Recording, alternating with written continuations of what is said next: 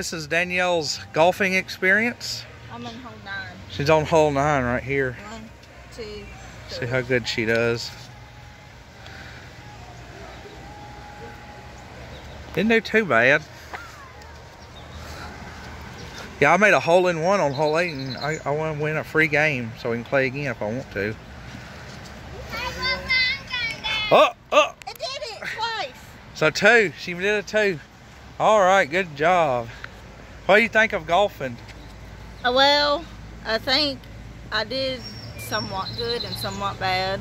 I did a hole in one on some of them. I, mostly it's like two for me. And then there was one course, that one.